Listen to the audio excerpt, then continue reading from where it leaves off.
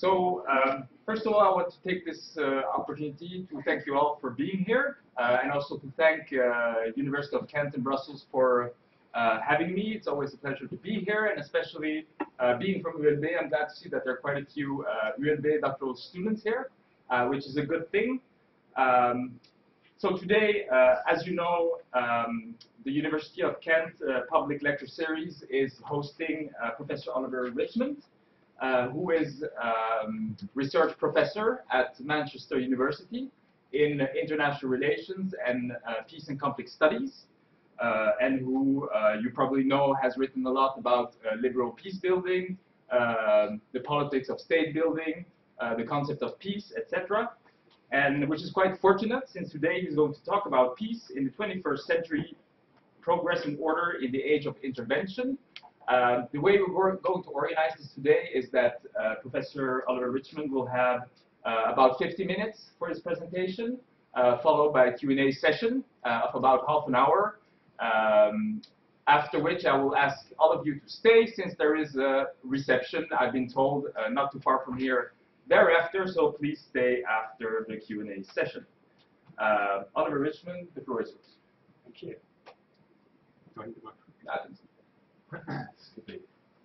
Hello everyone, it's very nice to uh, be here. This is the, um, the continental end of my own university, which you know is um, University of Kent, um, long ago, so it's very nice to be here to give this talk. Um, you know, some of which is um, beholden to um, debates that John Groom and others were having with John Burton and Keith Webb and Andy Williams and Vivienne Jabri and uh, Chris Mitchell. In an earlier generation or earlier invocation of this discussion about uh, where international order and peace and so on um, would come from. I'd like to start off with um, just a couple of um, kind of uh, pre-addendums, if that's possible, to this. The first is that um, going back to the late 1890s um, into the 1920s and 30s, there was a genre of international history writing, if you like, um, which was connected with switched on. connected with do I say that all again? Yeah. Did, did you hear any of that? So there was this genre of writing, analysis, and commentary, which was all about um, the building of an international system which would preserve order, which, which, would demilitarize, which would remove weapons from general circulation, which would advance the cause of human emancipation, particularly with the use of um, technology. A lot of this writing, people like H.G. Wells, um, for example, were indicative of it, um, was aimed at uh, producing a world government. The idea being, back at this, at this time, in this particular era, that we've been through a cycle of colonial wars, um, both for and against colonialism, um, believe it or not. Um, Afghanistan was a case in point. And um, there had been massive technological advancements much of which had been harnessed not just by capital, but by the state. And the state had used this advancement in order to refine the ways in which it gathered resources from the people, from society, not just through taxation, but also through labour. Um, so this is the industrial momentum um, building up.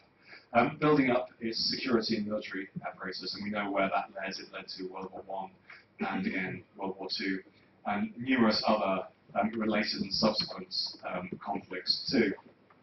So there was this body of writing which emerged, um, touching on technological matters, touching on ideological matters, um, touching on questions of norms, preferences, international law, the whole point being to try to come up with a system of world government which would translate the growing claims of societies around the world for emancipation. And emancipation I'm using as a very loose term, meaning social justice, equalization, access to um, resources and services, as well as some kind of celebration of um, identity. Um, but at the global scale, the idea being that one had to create an international architecture which would lock in the um, stabilizing functions of the state against its own internal warlike capacities, that is, the industrial capacity to circulate arms and make war, as well as to guarantee the rights of society, the individual, and the subject. So in that very Eurocentric Enlightenment linear way, people like H.G. Wells were imagining how the Victorians emancipated the subject while you know, covertly going around colonizing the world um, and raising, raising revenues in order to further emancipate the domestic subject. Um, refining the states by looking back particularly at European political philosophy and what it had to say about human rights, um, democracy, and norms. And then adding to this system an international governance framework. They would lock each other into place. So this is a kind of technical, mechanical understanding about how world politics would work in order to remove violence, end war, and to divert resources into productive processes.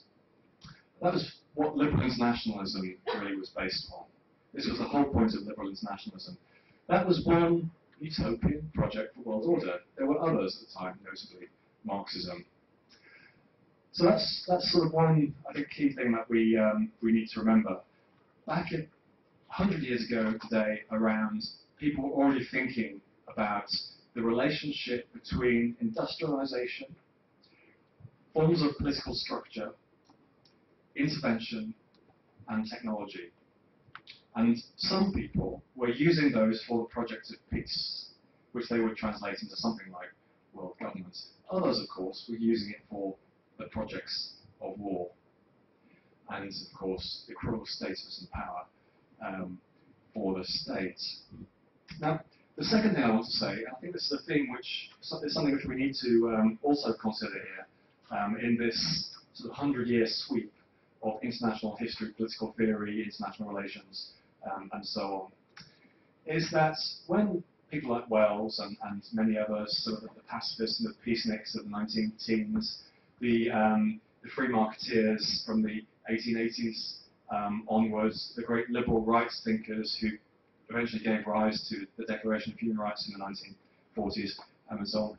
When they were thinking about progress at that time, it was very clear that they had some sense of the structural obstacles that would have to be overcome in order to induce progress.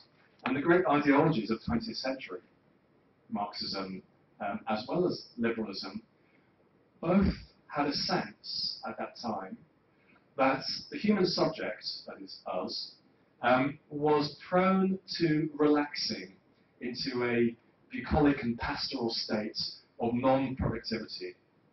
And that if we were able to exercise our own agency freely, we would opt for the path of least resistance, that is the path of no resistance. We would not be politicized, we would not act, and we would not um, work together for progress. There would be no international cooperation and little domestic cooperation. And this is a kind of a, mentality which saw the world as a bounded structural space. There are material limitations, geographic, geopolitical uh, limitations. They are harsh structures which cannot be overcome.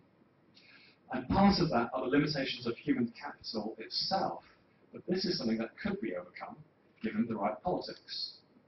So a lot of the debate in that period, we see it in the ideological debates in the Cold War too, was about how you use power that accrues to the state as the site of industrial power in modern world order, the main site of industrial power, in order to hold back stru structural obstacles to order, geopolitical, uh, material, resource obstacles, and to bring on the human population into a higher state of being.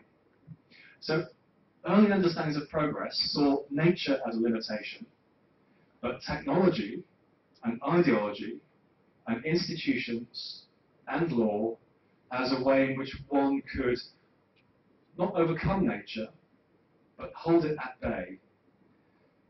So if we go back to those periods, you could interpret the history, the pre-war and interwar struggles, both of militarism and global capital, as struggles over progress.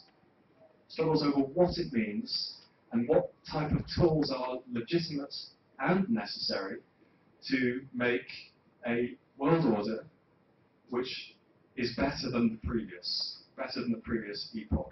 And all of these approaches had some sense of the international, had a very specific sense of the state, had a very specific understanding of the position of the subject. For some, the international was an imperial space. For others, it was the UN, the liberals, um, for example. For others, it was a space of global capital. For some, the state was a state which redistributed material resources but didn't provide fundamental philosophical rights, or rather saw material resources as trumping those rights. For, other, for others, the social was a material resource which had to be manipulated, developed, and advanced. Whereas for others, the social was a, a site of authority and legitimacy which deserved autonomy and rights. Now, to cut a long story short, we could bring all of these projects forward 100 years to the end of the, the Cold War. And what we see, I think, is a kind of hybrid of this thinking.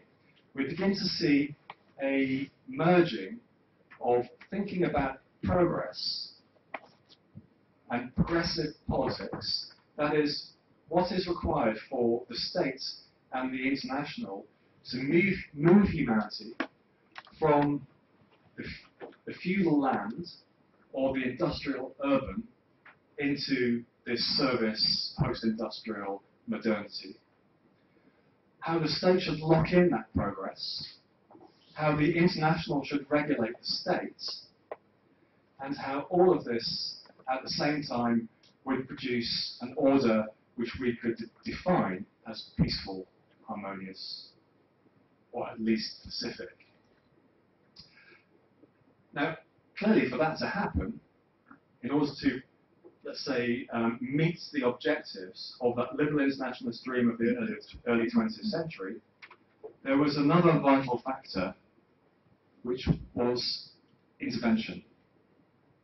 So to construct a peace system in modernity, one needed to connect with these different traditions of progress, which looked at society, capital, institutions, law, identity, and technology, and scaled them from the local to the international. And then one had to construct a system in which intervention should and could legitimately occur to maintain that system and to advance it.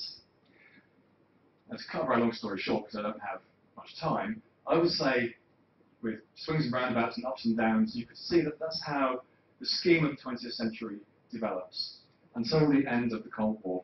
By the time we get to the point where we're all sitting in classes of international relations um, in the 1990s or 2000s thinking about intervention, we're talking about these particular tools, humanitarian intervention, peace building, peacekeeping, state building, mediation, negotiation, development, um, arbitration, and so on.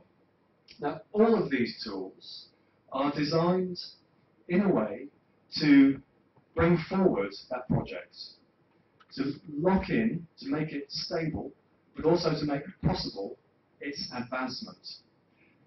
If you wanted to take a bird's eye view, a grand view of those different forms of intervention in general terms, we could say that what was happening at the international level driven by some key states, we now call them the donor states, the OECD, the main donors, um, and so on, was an attempt to negotiate a right of intervention. And this right of intervention was designed to maintain peace, order, and security. But here's the big caveat.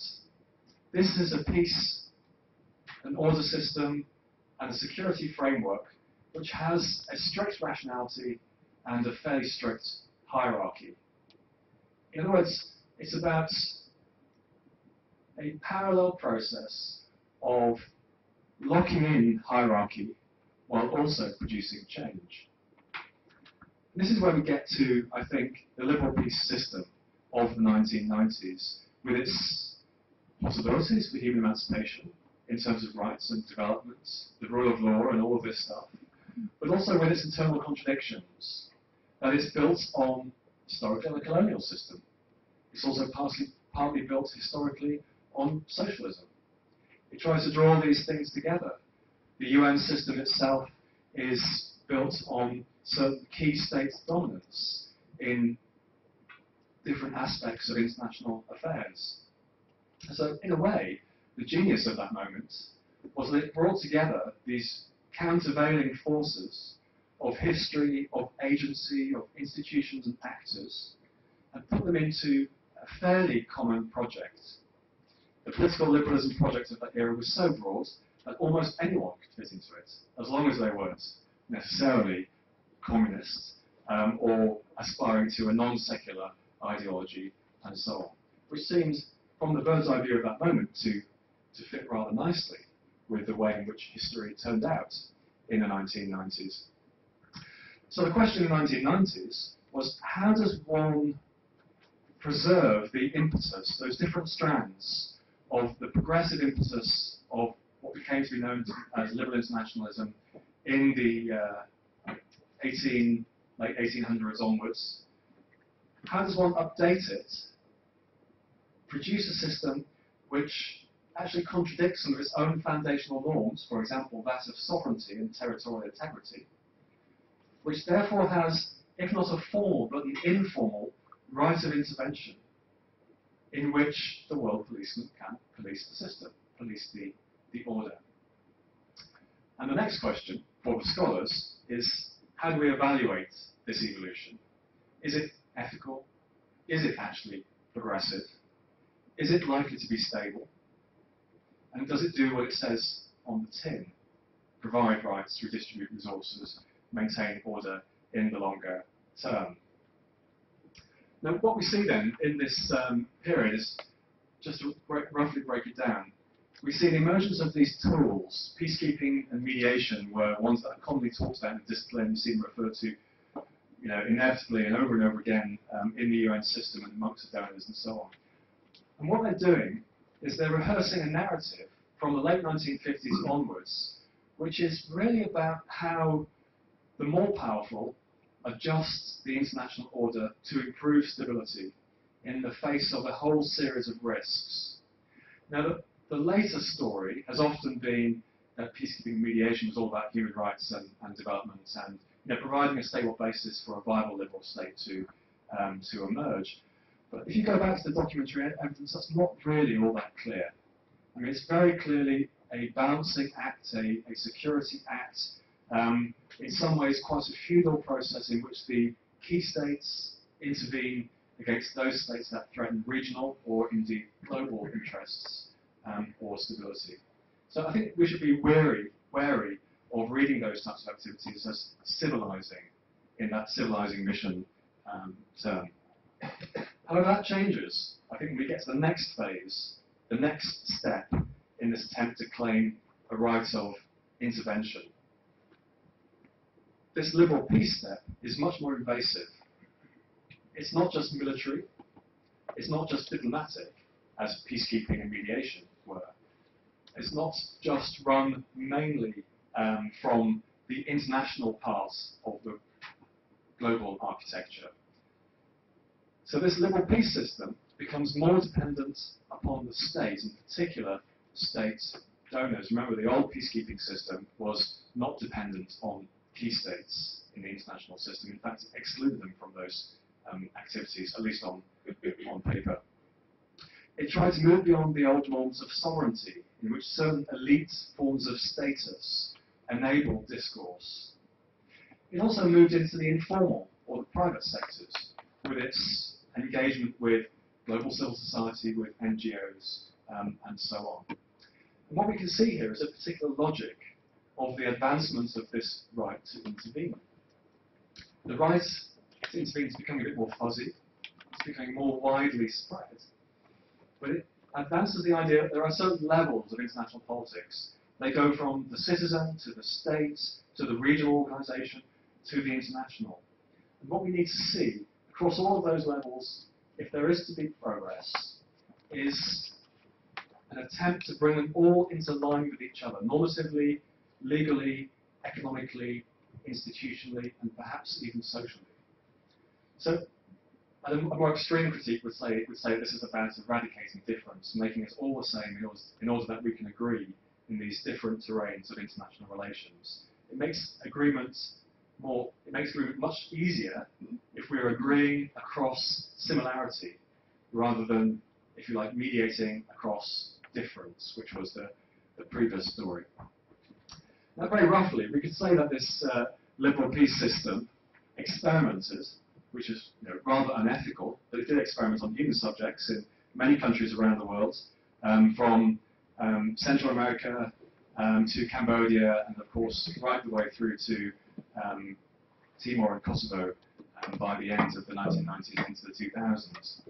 And every time it intervened, every time it became involved and this whole team of international civil servants, of international mediators, of officials, of non-governmental organizations, economic advisors, security personnel, the whole team of programming officers, this is the technological aspect, descended upon these conflict-affected societies in order to bring them into this putative liberal international community. They would start to experience resistances. And resistances begin to emerge in multiple areas. Some of them were connected to the outright claim that this process of intervention and the appended progressive system that was being brought in with liberal peace building would not deal with historical injustice. So this was year zero, 1990s onwards, and anything that happened before was not really on the table of law. The second claim was this claim about homogenous identities, that what we should do is create some sense of the nation or the national, to make people pull together within the framework of the states and to pull them away from old tribal, customary, feudal, and other or religious forms of identity. So this wasn't about mediating across difference, it was about making everyone the same, experiencing citizenship in the same way within human rights regimes, um, and so on. The third claim that was being made was that the liberal states can contribute to regional security. And regional security would be good for everybody, particularly the citizens on the ground. Now, all of these claims, I think, were fairly easily um, disputed on a one-to-one -one basis, but in general terms, they all held some potential. Perhaps the most controversial of the claims was the claim that was made, or was being made, about capital. Now, over and over again, in this period, we see intervention in conflict-affected societies which bring into that political space an idea of capital arrangements which is either against the normative or ideological preferences of those societies um, or has, is not based on consultation. In other words, capital is no longer a political issue under these forms of liberal peace intervention. So when one votes, the, the first Liberal Peace Act is voting. We see the holding of elections being one of the key sites around which progress is um, developed. We don't see any discussion about the nature of the economic system in that process, time after time after time. So we can read this right of intervention in several different ways according to each of those different areas, and they all show possibilities, but also problems. I think by the late 1990s, we start to see um, so many problems with this system that the legitimacy, legitimacy of this claim, this claim that we have the right to intervene to deal with conflict-affected societies, being seriously undermined. And by the time we get to um, the 2000s, and you know, the two big test cases of the 2000s, the two big experiments, if you like, Iraq and Afghanistan, it's very clear the model has changed. Uh, liberal peace building is really now in the dustbin of history. And what we're actually talking about is neoliberal state building, which is kind of retraction. I think it's a ret retrogressive state. What we're saying is, in the light of historical evidence from 1990s onwards, identity is too problematic. Culture and identity means that rights as universal claims are likely to be contested. We're also saying that political institutions are connected organically, and therefore, in other words, to the territory, to the population, and therefore, interventions which are designed to build institutions will necessarily step on the problem of difference, will give rise to um, resistance. We're still saying we won't deal with historical injustice through these interventions. So 1990 is still year zero. There'll be no attempt to deal with what happened before, which means no attempt to deal with root causes of the conflicts, inadvertently, by the way. So the state that we're left with, the process that we're left with in this neoliberal state building period, is really an attempt to build a state which just focuses on security, but this is outwards looking security, not inwards looking security, and the mobility of capital. And this is deemed to be, so this is called, we can call this neoliberal state building. This is deemed to be a shortcut to deal with many of the problems that arose from 1990s onwards. The state didn't have legitimacy and political authority because it did too much. It stepped across identity. It didn't necessarily provide rights. So let's forget rights. Maybe even let's forget democracy.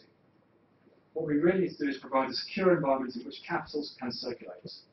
And then these other things, the more normative endeavours, can come later. And as long as we can construct a mode of intervention which stabilizes the region, then the chances are this international community can claim to have political legitimacy and therefore legitimate authority in world affairs. Now, the one common thing you can see throughout all of this evolution, from the 1920s and H.G. Wells all the way through to um, neoliberal state building today, is the attempt to maintain this claim to legitimate authority at the international level. There's something very important about it. There's something which gives a form of authority, a form of status, rights, access, influence, which is deemed to be very significant, shaping world order, influencing the nature of the state, influencing what happens with material resources, and so on. And that, I think, is why so many of these um, projects for international order, peace and security in the last hundred years keep ending up with the international. Now, the international, as it would be envisioned under the liberal peace, was going to be something like a cosmopolitan form of world government. And we, you know, we almost got close to it with the Millennium Assembly and all of the institutions that seem to be forming um, around that. The, the system of governance which comes out of the neoliberal state is very different. You know, we would call that globalization and global governance. This looser, decentralized, but still quite hegemonic in some ways, um, system which is in which the state, as a concrete eternal entity, is actually shaped by capital, not by its own population or rights. And that's a very different system. So what we need to think about then, right now, and this is really the point of all of this, um, is what does it mean for the project of peace? What does it mean for thinking about how international orders of the state and the social um, construct peace, maintain it, and also envision progress, the evolving project of peace.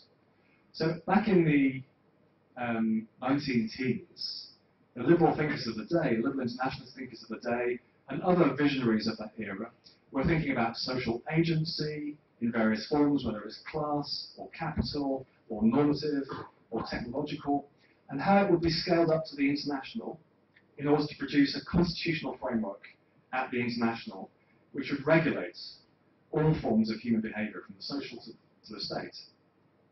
That was the project of world government. Um, what seemed to be happening in this liberal peace period was a kind of envisioning of some kind of global, decentralized, federated parliamentary system. Very similar um, in, in some ways.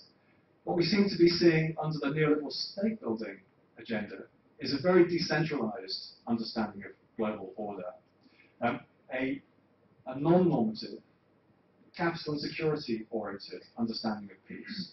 And therefore the main institutions around those two frameworks would be designed in ways which would not touch upon the rigorous constitutional frameworks that a world government would need. Something pretty much like as, as we have. Now, the, the question for both of those is, are they capable of maintaining order? Are they capable of dealing with the, the things that create conflict in the modern world? Or are they relics of a past world, a world which is now gone, the 20th century, the 19th century, um, and so on. So if we were sitting here today, which well, I'm standing here today, thinking about what a peace project would be, which would connect these strands of thinking, the social, the state, the international, progress, peace, intervention intervention inevitably being empirically tested necessary for peace and progress. How would it look? Where is it going? Now, I don't want to speculate. There's been lots and lots of um, speculation about this um, throughout history, you know, from um, Plato and Cicero um, to the, the neocons of uh, recent times. But what I will say is that there are some ways in which we can think about peace which perhaps will help us look at this debate. I have been working along with um, other colleagues. I don't know whether you can see this. You probably can't actually, so I'll just explain it. But if you want this overhead, just send me an email or I'll give it to somebody and you can distribute it. What we've been seeing in the really existing actual production of world order is not some utopian form of world government or even, or even global governance. Not something which can be delineated written about, described, captured in charts like this. What we've been seeing are a series of encounters, complex encounters. And so the concept which I've been using to try and capture the complexity, but also the reality of these encounters is a hybrid peace. And if you look at the last 25 years of engagements with peace, peace building, state building, development, all that stuff, peacekeeping to some degree as well, humanitarian intervention. What we can see is not the production of a liberal state, or even a neoliberal state, certainly not the production of a liberal international order, or a specific type of advanced capitalist society, but a wide range of variations according to context, positionality, location, access to resources, cultural identity, religion, and so on. Because what we're seeing is a circulation of a whole range of factors which determine, for a fleeting moment, the nature of the institution, the nature of law, um, the nature of the way in which we see rights and identity, and so on. So there's a lot of fluidity in this system. So we can call this hybridity. But in hybridity, we can also see the state, the international, the local. We can also see the continuing connections between historical moments and the contemporary time, in other words, historical justice or historical injustice. We can see the impacts of structure, whether it's geopolitics or resource-based or territorial, environmental, and so on. But these are real material impacts on the modern world, and they're all mixed up, and they all help determine the positionality of each subject, that's us, or each state, and the nature of the international order. So the question here is, how do we evaluate this? And against what? So I said earlier that the early ambition of liberal internationalism and those other isms in the 20th century was in some way to make peace and order of a progressive type, according to its own definitions, within the constraints of nature, within natural limitations. Now, what we see increasingly I think from the 2000s, perhaps even the 1990s, is an attempt to think about human progress through intervention, in which the state is maintained, the international is maintained, but these now transcend nature. So we're now thinking about forms of outcome, institutions, rights, technology, ways in which we deal with identity and so on, which actually go way beyond the old categories which we deem to be connected with nature, the fixed structural categories of resource distribution, population, placement, um, institutional architecture, and so on. So to, to make it easy, Because in the end, you know, us, us scholars have to produce some types of categories or labels in order to produce some form of understanding of what's happening and how it might be thought of and evaluated and so on. I decided that I would divide this hybrid peace phenomena, that is, the types of peace systems, agreements, constitutions, um, legal frameworks, the nature of the state, and the convoluted and complex nature of the international, into two rather simple categories, which I, I've laid out here. They're both categories of hybrid peace, that is, the interaction, the encounter of the different power structures, different normative preferences, different positionalities, um, and different access to resource frameworks and so on, identities. We can categorize these as negative or positive forms of hybrid peace. And that means that we have to start thinking about, again, we have to start thinking about what peace, progress, intervention mean and are related to in the contemporary era. So the hybrid peace represents, I think, a kind of understanding of what actually happened in countries like Kosovo or Timor-Leste or Cambodia or El Salvador um, or Liberia or Sierra Leone when the internationals post-1990 began to get interested in reforming the social, building the state, and anchoring it into the international architecture of institutions, law, and capital. Now, what the internationals expected, or at least what they hoped for, was that they would have homogenous units entering into the global economy, into the UN system, and also engaging with their systems in very similar ways, standardizable, universal, normative frameworks of engagement. What's actually happened is a very wide variation of identity mixes of identities, norms, legal systems, constitutional frameworks, notions of statehood, um, distributions of territory, regional positionality, and so on. So we can call this a hybrid peace. In many cases, to simplify, you could say that these states actually are kind of authoritarian, quasi-authoritarian, slightly human rights oriented, very capitalist hybrid. And quite often, the formal structure of the state, the place where power, resources, rights, and capital is located, floats some way above the general population.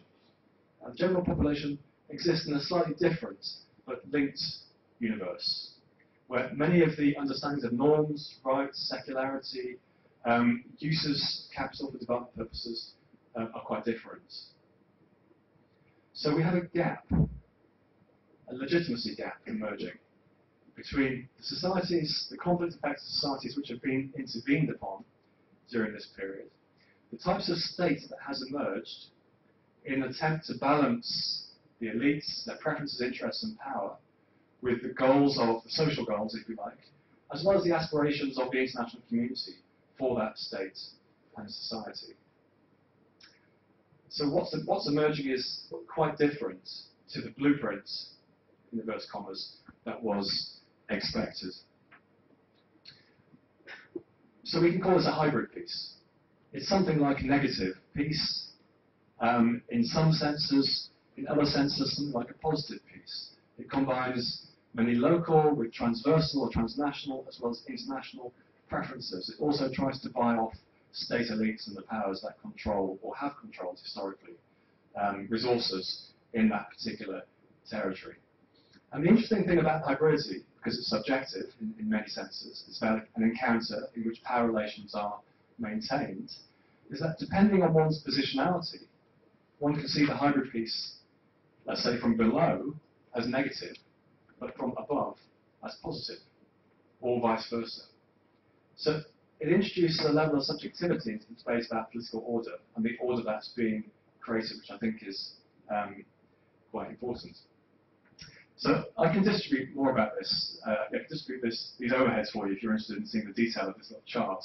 But um, just to cut a long story short, what I'm trying to say here is that the, the encounter is not producing something like a liberal state um, or a liberal international community. But that's still there, and those traditions maintain. Um, but it's also not rescuing the organic functions of political society, but some of them are still there and still pertain. And it's producing a situation where communities are able to pick and choose where they get their rights, identity, resources, understand, understandings of progress, and even intervention from.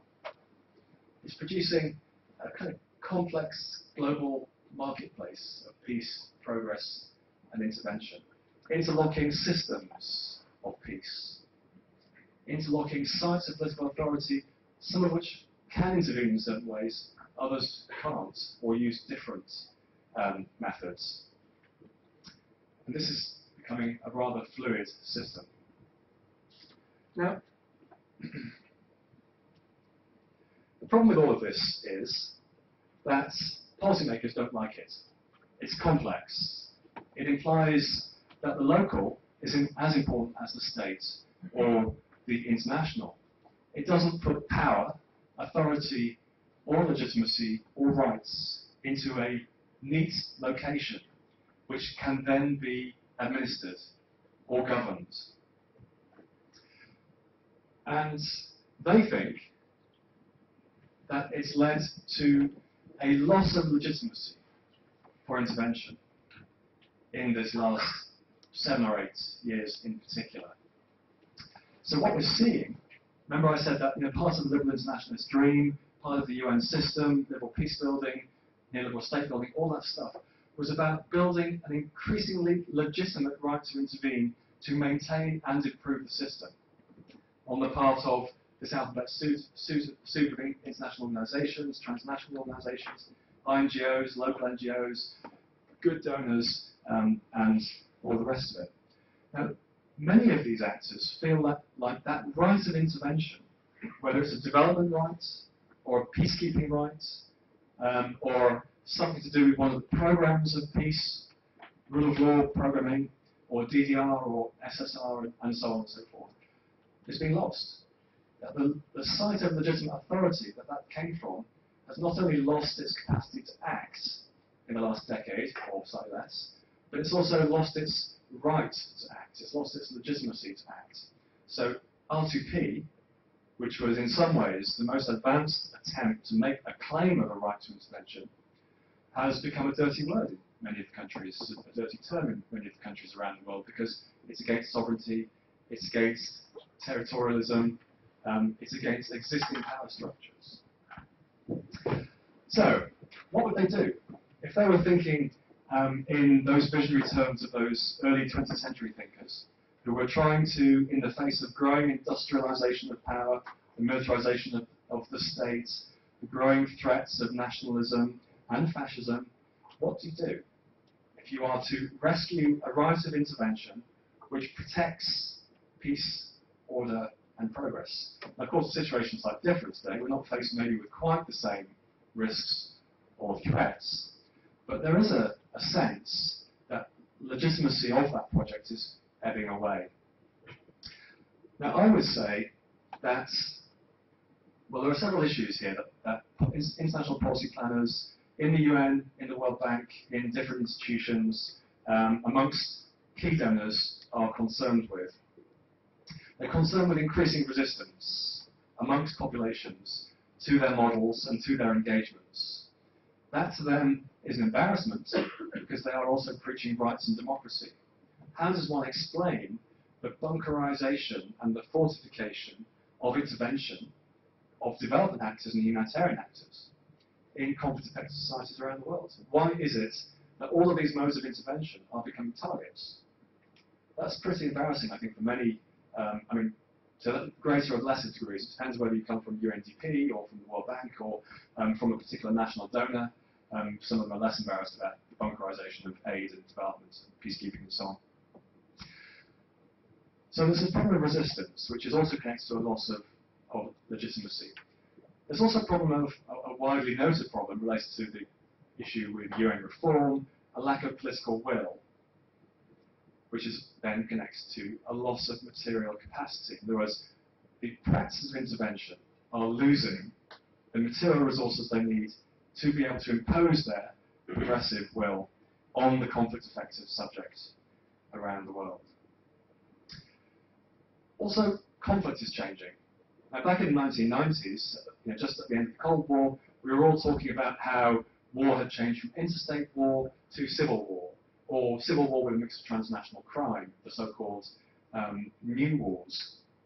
Yet a lot of what is being um, discussed amongst the local counterparts of international policy planners when they meet them are structural issues.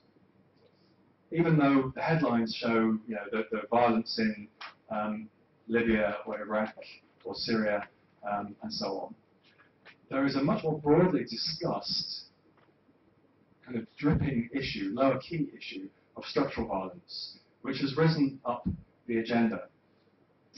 And of course, to engage with structural violence, to engage with development issues, with the maldistribution of, of rights, with the maldistribution of natural resources, um, with the obstacles of access and mobility that the world's populations face in different quarters, requires um, quite a different type of strategy. From the standard development to peacekeeping to peace building to state building practices, the tools that they have negotiated for themselves and carved out of international politics um, over the last 25 years. So what seems to be being discussed, and I'm only really inferring from here, from gossip and, and rumours that I hear from people who claim that they are in some way significant, influential, or in various different planning or coordination groups in different institutions um, around the world. It's a kind of, what, they're not using this term by the way, I, I made it up because it just sounds relevant, but they seem to be discussing a kind of revolution in peace building. Revolution in peace building, development, and humanitarianism. A bit like the old revolution in military affairs that we heard a lot about in the late 1990s, where the world's um, key militaries tried to reorient their practices and capacities away from old wars to new wars. So today the world's interventionists who are interested in development, peace building, planning, humanitarianism and all the rest of it are reorienting um, their thinking and their engagements away from a world in which there are subjects out there who do not resist, who welcome intervention, but also welcome the expertise that's brought with it, and also are willing to give up their autonomy in order to be developed, to have peace built, to have the state built. This means that they have to rethink what it means to make peace, build a state, and intervene in a world in which people have agency and resist. And that resistance has been quite effective. It's induced hybridity, the hybrid peace in negative and positive forms.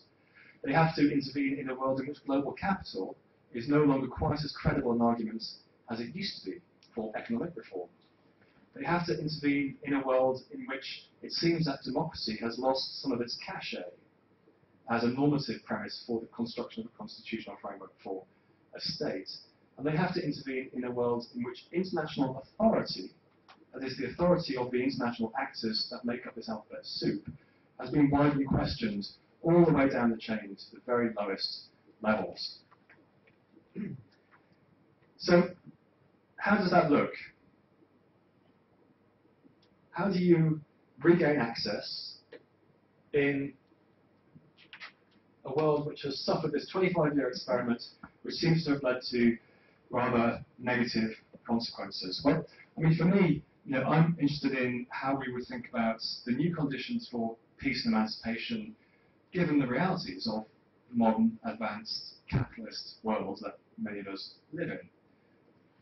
And for me, I will suggest, um, in very general terms, that does allow some of the aspects of the old liberal internationalist dream to be thought about. For example, how do we not only address, how do we not only govern the consequences of conflict, but how do we also govern to deal with its roots?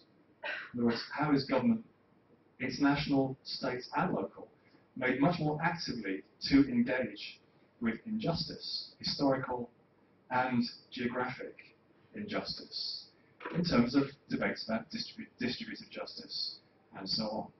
In other words, is it possible we're now in a, a moment, an age, where intervention for peace and progress can transcend many of the hierarchies and the categories that we assumed are natural? Can peace transcend nature and this natural Westphalian order of sovereign states with the international system um, and so on. How would we ethically understand that process? Now, I can't answer any of those questions, but what I can say, unfortunately, is that the internationals who I've at least had contact with who are thinking about these questions, and they are, by the way, they're striding their corridors, they're wondering how to regain access, they're wondering what model of states should work better, they're wondering how to regain their right of intervention, how to get resources, how to build political will, how to pacify those conflict-affected societies around the world. But rather than dealing with those historical injustices, dealing with the problems that emerged from the previous, previous system, testing about 25 years empirically, drawing lessons, and so on.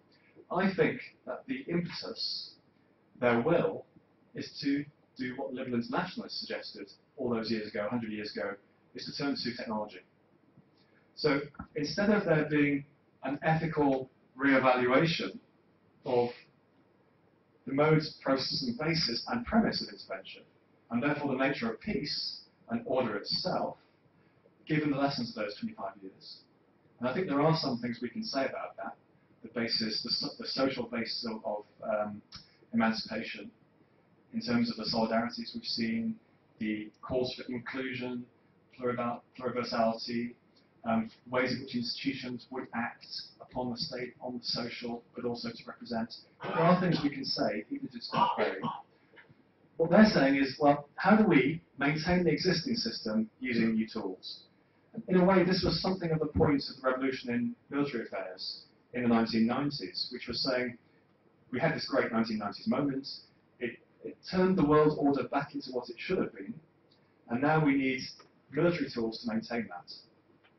So this revolution in peace-building affairs has taken a technical turn, which doesn't have much ethical content, I think, from a peace, peace and conflict perspective. And what they're saying is, how do we intervene? How do we make peace? How do we develop states? How do we build international? Using the advantages that we have in advanced capitalist societies. And the solution, well, is fairly straightforward. As in other sectors, you use the access to data that your advanced economy gives you.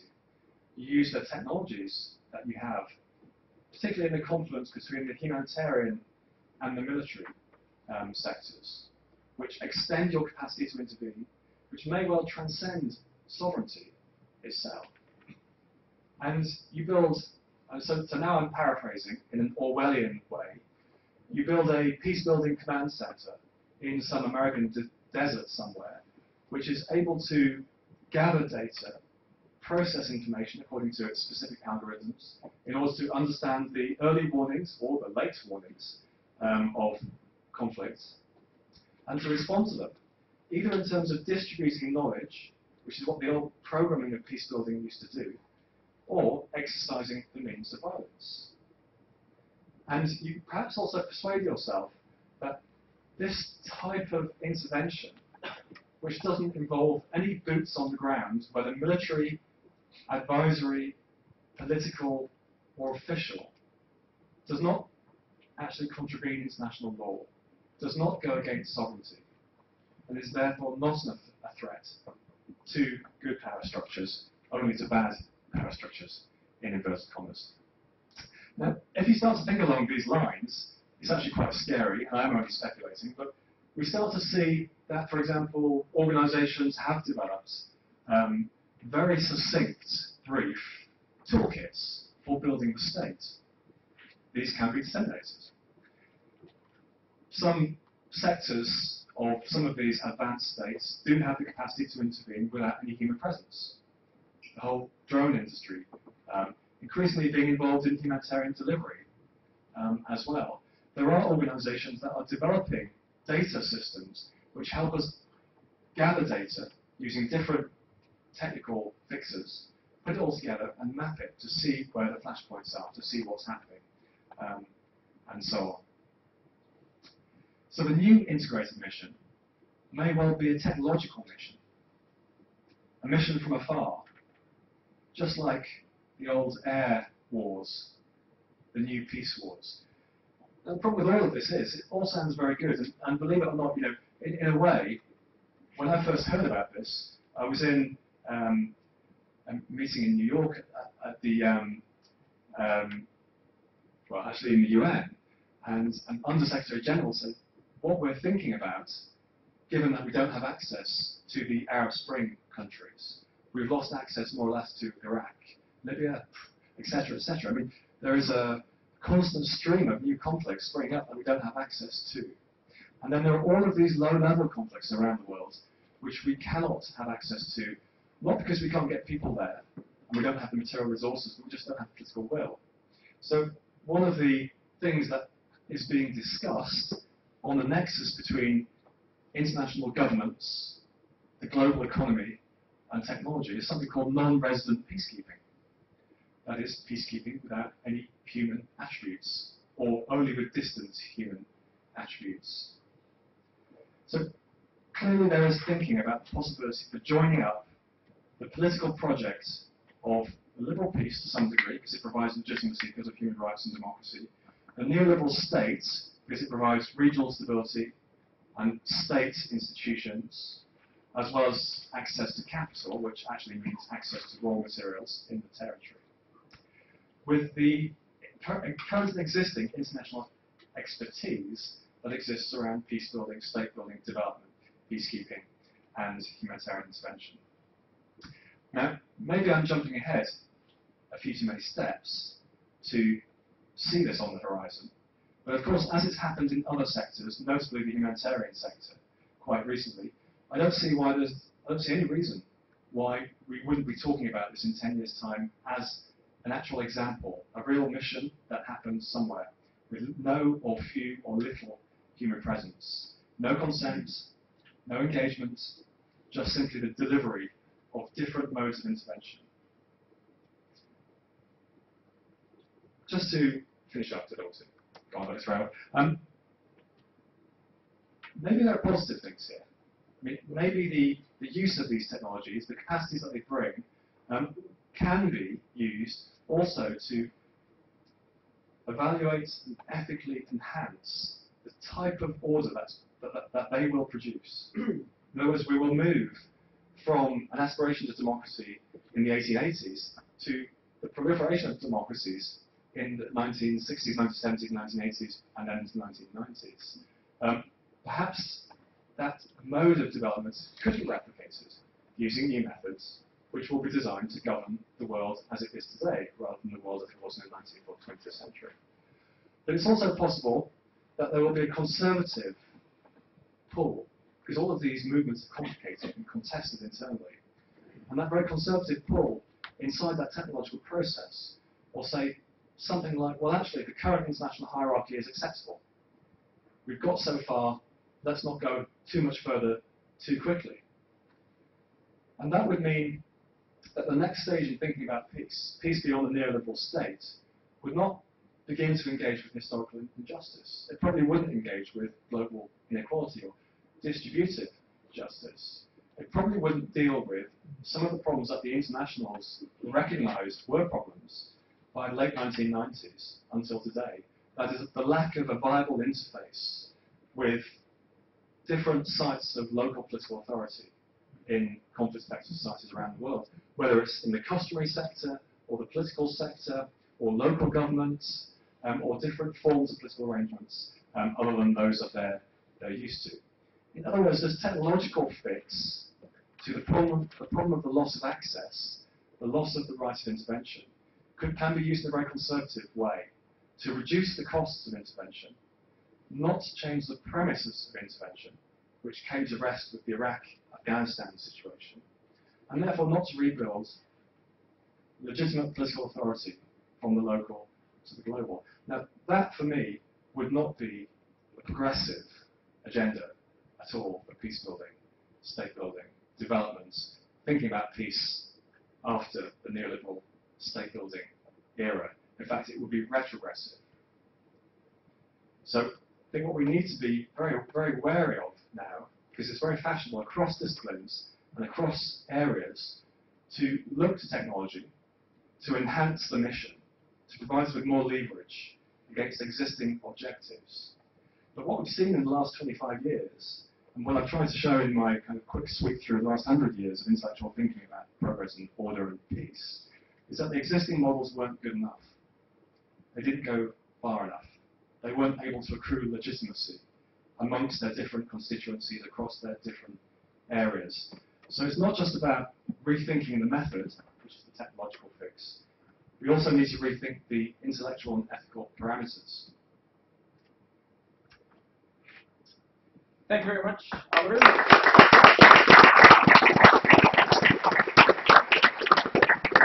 So thank you very much for this uh, very uh, compelling presentation and uh, uh, stimulating conclusions. I can only imagine that there are a lot of questions, so I open the floor for three, four questions during this first batch, and then we'll have uh, hopefully, hopefully two or three uh, batches depending on how much time we have. So the floor is open.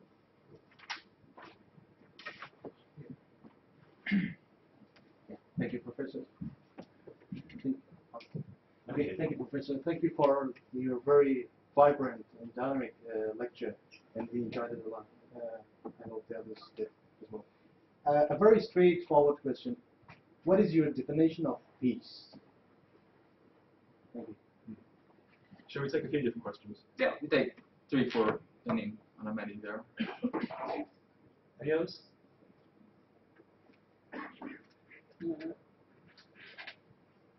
as a uh, human being and I belong from the uh, conflicted area of Kashmir and uh, since the childhood I have had been hearing about the peace Mm. through the peacekeeping forces of United Nations. But for last uh, 10, 15 years, there is uh, emerging a new phase understanding peace, which comes from Washington or it is from London, and ignoring the uh, global, uh, you can say, uh, consensus or image. So, was uh, the is the global image of peace uh, need of the hour, or uh, the interventions by some uh, uh, countries uh, which has which have changed the uh, uh, peace efforts into the military inter interventions. So, how you can uh, differentiate these two these two sides, these two Thank you. Let's have one more question. No. Yes? Yeah. Because, uh, Professor, for this uh, quite enlightening lecture. And uh, you, you talk about the very term legitimacy very often, but I, I'm not sure which definition are you using there. Because you mentioned that, you know, in, in some countries there are two different classes, different populations, the elite and the population under. But for, for, for, for them, you say there's a gap of legitimacy. And also, you know, when, when the international well, uh, is going to, to intervene, there is also issue of legitimacy. So I don't, I, I'm not sure which notion of legitimacy are you using and whose legitimacy is that? Yeah, thanks. Okay, yeah. Great, thanks. Yeah. Um, so I'll, I'll um, start with the uh, definition of peace. I mean, I think that um, part of the story of liberal internationalism, as I told it, is that it had a very clear definition of peace, which it refined um, over and over again. And if you look at how it develops, it moves from social agency and social emancipation and justice and labour rights and all that stuff um, to the elites, who then draw it in, co-opt it, build it into the system, dampen it down, push it back a little bit, and then again, so this constant kind of resistance over the nature of the liberal state, and then an attempt to refine um, this kind of encounter between the different power structures that this new and reformed version, like, of, of the state would I wouldn't take that as definition of peace. And I think that's a political process and it's evolving and um, shaping. I think one of the things that we see from this period, particularly from 1990, is the attempt to translate that activity into a specific form of state to be applied across conflict zones where there is access, where the right of intervention, this putative right of intervention, has been um, applied is a, very homogenous blueprint type model. This is the liberal democratic state. It's a story we hear from you know, the Treaty of Versailles onwards with this kind of simplistic historiography. Um, but the actual reality is that there are different types of arrangements which one could call peace. And they're all hybrid. I mean, they all involve different types of state, different social actors working in different areas, from, from religion to custom to technology to the institutions to local government to national government um, and even way beyond that. So this concept of peace is slippery.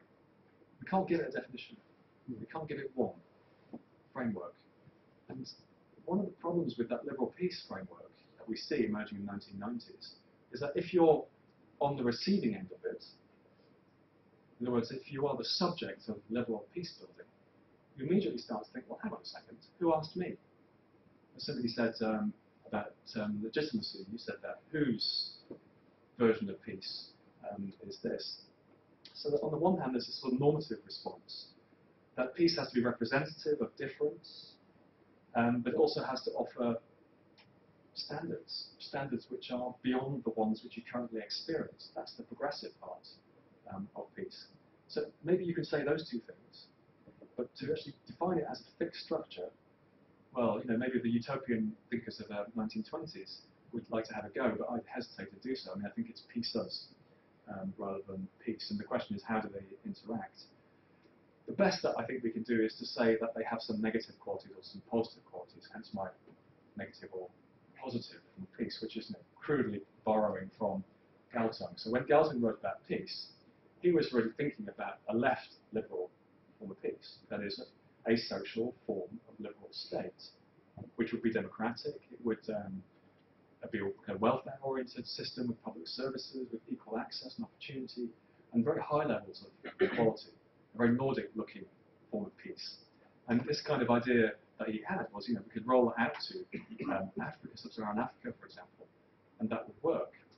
But, you know, in historical practice, when, when it comes to do that, who's going to pay the costs?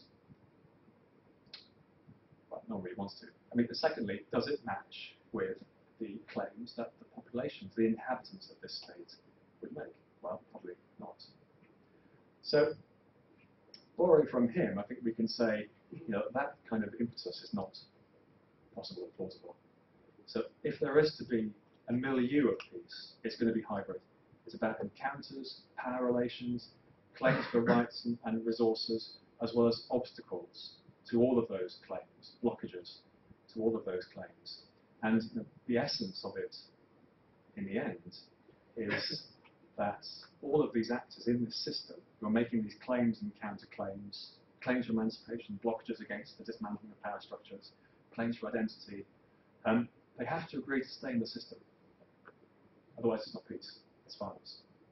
And they have to agree to identify the sources of structural violence, that is, the hidden aspects of bonds, the discriminatory, unequal aspects of positionality in that system, and to slowly dismantle them. So that tomorrow's setup is better than today's, because that's an important part of legitimacy, isn't it? Legitimacy isn't just here is a document, and here are your rights, and that's legitimate. And you signed it, so that's it forever. Because you know, 10 years down the road, you might say, well, actually, I, I want more. There's more to it than that. We've discovered something else. So it's a fluid kind of um, system. So the whole concept of peace actually is, it comes from a very Eurocentric, rational, legal, ontological premise that this thing can be fixed in a constitution, in a subjectivity, unchanging, eternal. I mean, it has exactly the same qualities as the Westphalian sovereign state. And in many ways, it's just problematic, which is why Orwell and Foucault saw war and peace as more or less the same thing. Um, and that's what I'm pointing out here with my technological um, possibility. But I think there are other ways in which we could reframe peace as a milieu, in which there are these relations, these interactions, in which everybody has to be kept away from violence and agree to work discursively, cooperatively through institutions and law um, through historic institutions as well as rational legal Weberian type institutions or local governments and, and so on. I think we're at a position now where we could start to write about peace again. But it's taken a, a long period of excavation empirical analysis and assessment. And you know, actually, that's kind of what I'm trying to do in this this stuff, this new stuff. Um, obviously, without much success. But on the um, the second question, uh, so the question of, of, of, where we are now, I, mean, I assume that you're referring to the stabilization policy. So the latest buzzword amongst the international community, and particularly the, um, the, the, UK and the US, is stabilization. And you know, the question, um, is this peace, is not on their agenda. In actual fact, if we look at the recurrence of the word peace in international documentation, it's tailed off radically over the last 10, 10 years. It's crashed. Um, so um, a whole new language of international order production is being used. And it starts with the terrorism, counterinsurgency, um, of language of, of the US military, um, and goes into sort of development participation type um, language, um, and goes in briefly into some of the language in the, uh, um, the UN system, um, also about representation, the local, and so on. But the, the UK military and some of the UK's allies have been pushing this idea of stabilisation. And it's really a very retrogressive step again. This is where historically we can see that power has met its match. So the attempt to build a, an international system out of um, kind of the foundations that were left um, at the end of the Cold War um, was quite ambitious. It ran against many of the different flows of international order, political, economic, social, um, and so on. It was kind of reformist system. Um, it was all about changing the subject, changing the state, re reinforcing and buttressing um, the international. And this is what these stabilization missions do. So in the thinking of, of the UK military, and I was actually last week at a meeting discussing this new-ish sort of agenda, and um, what they, when they look at the world, they don't see anything that should be changed.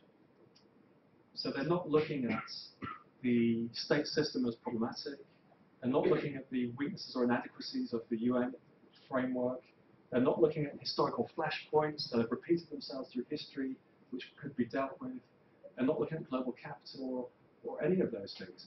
They're very simply looking at the territorial arrangement of human populations and the ways in which these should be, according to the geopolitical map that we've all internalized psychologically over the last 50 years, or I suppose you know, 25 years, anyway, definitely, um, and seeing this as a status quo which needs to be maintained. So there's no historical issue, there's no justice issue, there's no inequality issue. Um, it's about managing human populations within the existing state system using the lightest forms of counter counterinsurgency um, they can imagine, designed for um, you know, revolutionary military forces with more access to certain forms of technology than ever before. So intervention for them is about maintaining the system. It's very conservative. They're not even thinking about political ramifications of keeping the system as it is. Because for them, what they're doing is preventing further flashpoints, prevent, preventing further obstacles and problems from developing and emerging. So the stabilization of world order, I think, is actually retrogressive um, in, in many ways.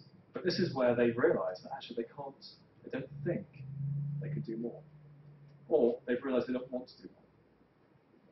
So this is something to watch out for, I think. On the question of legitimacy, I mean, this is a really good and um, important question.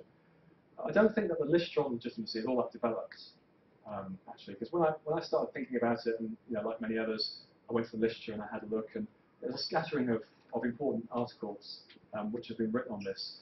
And they're rather Weberian in nature and, and neoliberal in methodology, um, too. And so what I started to think about was connecting the legitimacy to what I saw as being, from a peace perspective, key sites of authority in today's world. And these, um, for me, were at three main levels. Now, these aren't hard and fast categories. They're sites, they're fuzzy sites around which there are networks and relationships and power relations um, circulating. But this, this, for me, was the local and the social, and its, its forms of legitimacy range across a whole different set of zones. from identity and religion to practice and custom and tradition into many different areas, security, law, um, ways in which one thinks about one's leisure time, access to services, and, and so on. Complex constructions of legitimacy, which, I mean, there are literatures on, on these things, but um, at least in my kind of skating over the tops of those literatures, I didn't see um, much that really made me feel that it was contemporary. But anyway, um, the state. Now, the state is much more easy. It's much easier to theorize um, from, the, from the point of view of legitimacy and legality because there's quite a big literature um, on this from the international law perspective and also from the sociological perspective um, and so on. And then the international, a small literature but growing, um, you know, connected either to um, world governments, to international law, um, or to global governments, um, and so on, and you know, relating to either the social, the rights of the social, or to the state and the regulatory framework um, in which the state operates. So these are different sites of um, legitimacy, which I thought, in very general terms, it's important to think about because if you think about that 100 years that I, I talked about in my talk from the 19 teens until today, all of these have been seen as important steps of peace. Civil war, civil peace. State level inter interstate war, state peace, peace agreements, constitutional frameworks, and all that stuff. And then the UN system, League of Nations, UN system, and then the additions to global governance since um, 1990. So it seems to me that these are three historically situated, grounded sites of legitimacy, which are used in different ways to construct authority and therefore exercise power, different types of power, and for um, different reasons, producing different forms of peace. And you know, they're often conflicting. So what we might see as social order or social peace may not fit with what, what is defined as a state level peace, and may not fit with a, with a liberal peace system, the international um, level. And then there are questions of procedure, action, and so on, which we can um, bring into this uh, as well. Thank you very much. Let's take three questions more. Yes, Gustavo? Yes. Um, so on the idea of this last slide on technology fixing the legitimacy gap, I mean, I, I like technology as much as anyone else, but I'm a bit suspicious on the idea of technology on its own, be able to fix a, a problem that seems to be inherently political, political Mm. in the sense of, uh, I mean, are, aren't we actually uh, hiding politics and ideology behind a wall of technology and bureaucracy, where, and at the same time, the problem is still there. I mean, not only not only because we have someone far away from the conflict, far away from the crisis, uh, in front of a computer uh, with, a, lot- with a whole set of data, um, that doesn't mean that there is not an agenda behind it, there's not politics behind it. Just comment on Thank you. Any more questions? Yes. Uh, Thank you for uh, wonderful presentation. Um, My, my question is, uh, you mentioned about uh, structural violence and structural war. Um, Do you think structural peace will solve uh, the global governance?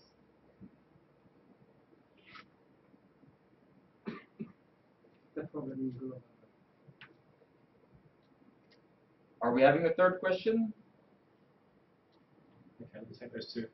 Um, so, yeah, I mean, my my understanding of this possibility, which is over the horizon, where where technology um, creates the, if you like, the the interventionary capacity that the material capacities of the traditional tools of the 1990s failed to have. Um, it, it's not that it fixes legitimacy. That's the claim that's being made about it. But it's not that it would fix legitimacy. In fact, I think quite the reverse. I think it might undermine um, legitimacy. Now, you know, what we see in these interventions, in, many cases, is that they're welcomed. Um, in the 1990s and so on, you know, people do want to have human rights. They do want to have prospects of prosperity. They would like to have a better life for their families and children, um, and they would like to be freed of existing power structures which exploit them and are predatory. Um, of course, there's more to it than that. So in, in our sort of reductionist interventionary way, we were thinking they wanted those things, but not the child, so everything else was, was peripheral um, and, and marginal. And we're also thinking that the power structures would no longer be able to really oppose the intervention. now, if we were to think about refining um, these strategies that have been developed and used by the international actors in the international system, um, whether military or developmental and, and so on, that's a complete different story to coming up with new technological methods which gain access in order for you to continue with the standard operating procedures of intervention from the 2000s. Uh, my feeling is, um, I mean, particularly in the UN system, there's a lot of opposition to neoliberal state building.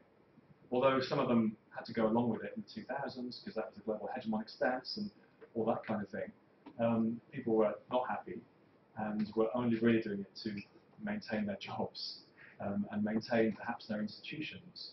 But they were keeping alive a slightly more liberal or even more emancipatory, because you know, quite a lot of these people have a different technological background, dream in, in the background. The problem is that with this technological fix, and again, I'm really quite speculating, but it hasn't been developed in the system. It's not coming from inside the architecture of peace building, of, of global governance, of diplomacy. Um, it's not even really coming from inside the international, uh, the military architecture. It's actually coming from a kind of confluence between global technological capital and some quarters in those institutional frameworks. Um, so, I mean, you know, to be very crude about it, it's about selling technology um, to extend hegemonic power in order to prevent the unpicking of the current historical hierarchy that we, we live in. That, to me, runs completely against the grain, the train of thinking about peace, which was moving increasingly into, well, we have to deal with social justice, historical injustice, distributive justice, environmental sustainability, a complete repositioning of the debate of peace, even in formal policy um, documentation, away from peace as you know, a state agreement between either with its own constituencies or with another state, to peace is a sustainable, global positionality, which requires all of these ongoing mediations between nature, between the environment, between different forms of power, different issue areas, and all that stuff. This is a way of avoiding all of that. It's kind of myopia, myopia, technological myopia. And if I can just give you a kind of caveat as an example, one of the things, one of the examples that I heard in relation to this was about universities and the, the MOOC. Everybody heard about MOOCs, this mass, massive online course as well. Anyway, I mean, one of the kind of key names who was behind um, rolling out the MOOCs, to use that awful neoliberal language, um, to um, American Ivy League universities, um, with you know, very contradictory consequences, some good, some bad. His underlying premise for the MOOC, which we think, as the subject of the MOOCs, the people who would experience them from afar, would be to democratize education. From his perspective, was not to democratize education, but to centralize it. So whereas we want to all go to Harvard and hear, you know, um, Michael Sandel talking about international justice, what Harvard wants is the whole world to hear about Michael Sandel talking about international justice. And that's normative exchange, in which power relations are at play. Okay? Do you see that? So this guy who, who developed MOOCs, particularly this one from Michael Sandel, said, um, in a very telling statement, he said in 50 years' time there'll only be 10 universities left in the world. They'll be teaching the world from the United States now, of course, I'm exaggerating, but you can see how this impulse, this conservative impulse to centralize power, power and knowledge, authority and, and, and legitimacy, that's what the 1990s was all about. The 2000s was a response, a reaction to that, a series of resistances to it, a retraction of the interventionary impulse. And now we're at the technological stage, where there is this kind of hope that we can rescue the project with technology. But the project has moved out of an ethico-political terrain, if that happens.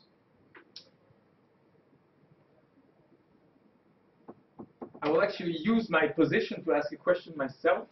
And then I'll open the floor one last time to see if there is one more other question.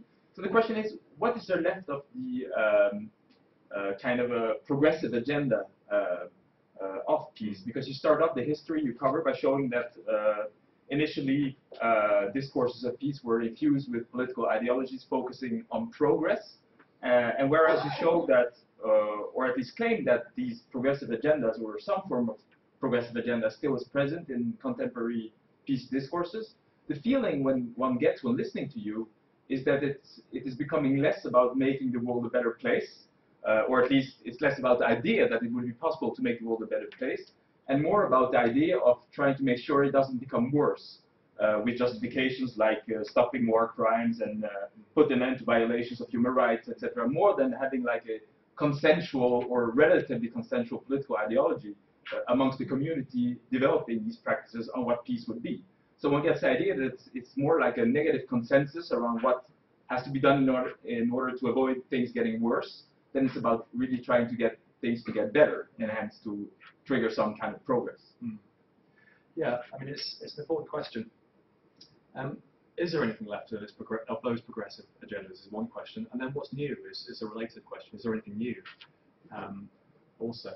I mean, I think that um, we obviously don't want to throw the baby out with the bathwater, to, to, use a, a, English awful cliche, which is just as bad as neoliberal stuff.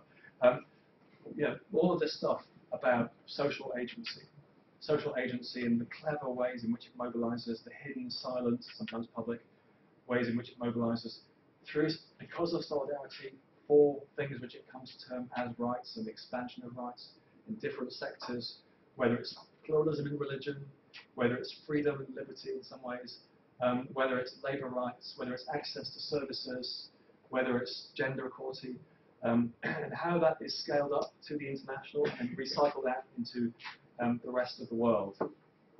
I think that was, that is, it was, it is an important insight, a way of thinking about um, how one could, in a democratic situation, build and attract attraction, a politically, attractive discourse, a framework for bringing people in to the fold, bringing people into a system in which differences can be opened up, but not attacked. and that agenda, I think, is still there.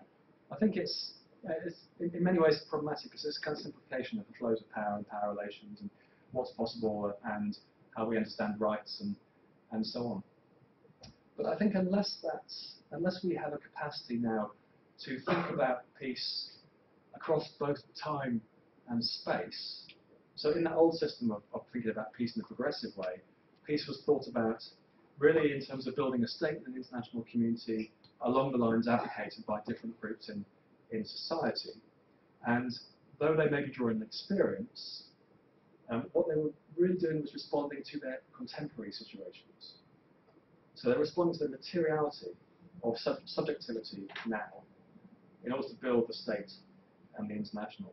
Well, I think if we look at many of the conflict affected societies in which we work and so on, we can see that political subjectivity is not contemporaneous. It's not just about now. It has a whole series of dimensions, some of which are temporal, some of which are kind of geopolitical, some of which are spatial. And that's less represented in the old progressive agendas. So as I say, you know, thinking about positionality in terms of time, space, environment, sustainability, um, and all of those sorts of things. But also a kind of counterfactual way, thinking about um, you know, the world beyond the institutional settings and the legal frameworks um, that we have. What's the failsafe? What's the backup? You see, at the moment we have a peace system, an international architecture, which has no backup there's, there's a thin line between us, that system, and the oblivion beyond it.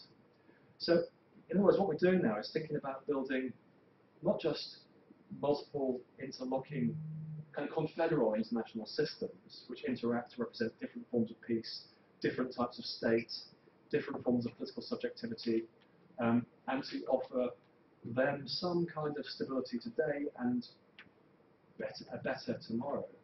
But we're also thinking about how we lock into that system other systems. And some of those systems may be historical. They may, may be related to different forms of political subjectivity. You know, people, um, it's quite amazing, but even if you think about very advanced, modern, capitalist Western society like the UK, there are actually different forms of political authority. Not just the modern state and the capitalist economy, but different and competing forms of political authority, which actually do an awful lot for people in different communities in the UK, but have no space in, in the modern state. And I think that's a bit of a problem. And so we can look to those different systems, perhaps, and bring them in, because they form different functions. They came from somewhere, they're organic, they came from somewhere for a reason. Now, I mean, a shortcut to all of that is equality across time and space, or equiliberty, perhaps. You know, any shortcut is reductionist and problematic, because it's a complex situation. Thank you very much. Do we have one last question? Short one, in that case. Before we thank uh, Oliver Richmond, I would like to uh, announce that uh, the next uh, public lecture that would take place in this um University of Kent public lecture series will take place on December the 3rd uh, of this year uh, and will be given by Professor Mick Dillon, which with an as intriguing title as usual. it is Bush, Blair and the Baroque, the politics and aesthetics of sovereign failure. Uh, so this is on December the 3rd from 2 to 4. All that remains to be done now is to thank very much Oliver Richmond for his very uh, stimulating presentation.